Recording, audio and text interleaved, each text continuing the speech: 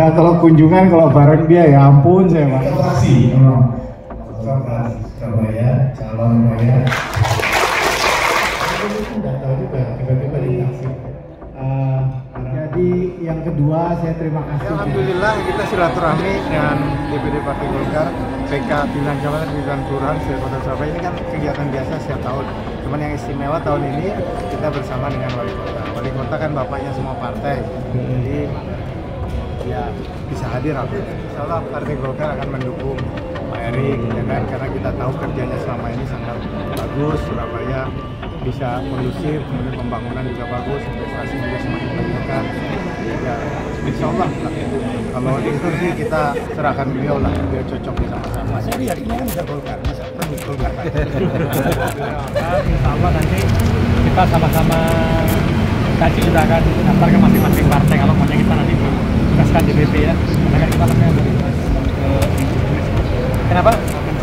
kan DPP KB juga bangi lah ya Kapan Pak? Ya? Pantangin dulu. Tapi siapa yang direkom dari Golkar siap terima ya? jadi semuanya insya Allah kita memang diminta untuk koalisi ya untuk koalisi dengan DPP jadi kita jalan Apa koalisi Gotoro gitu yang dilanjutkan? jadi kita kita koalisi semua partai kita datangi jadi kita sudah silaturahmi semuanya ya. kita lihat Mas Eri kan hampir semua partai politik sudah didatangi. Golkar ini kan yang terakhir. Nah, itu nawaitunya tunggal. Bagaimana mengelola Surabaya mendatang itu tentu dengan gotong royong. Nah, kita mulai dari proses di hulunya terlebih dahulu. Hulunya apa? Rekrutmen kepemimpinan itu kan melalui pemilu kada.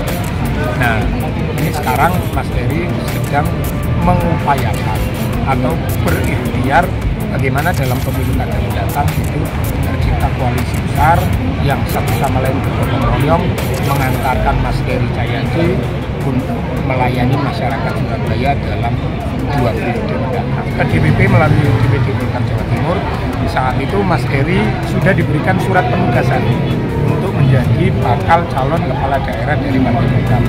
Nah, satu tingkat setelah surat penugasan itu adalah surat rekomendasi yang insya Allah dalam waktu dekat akan diproses di DPP.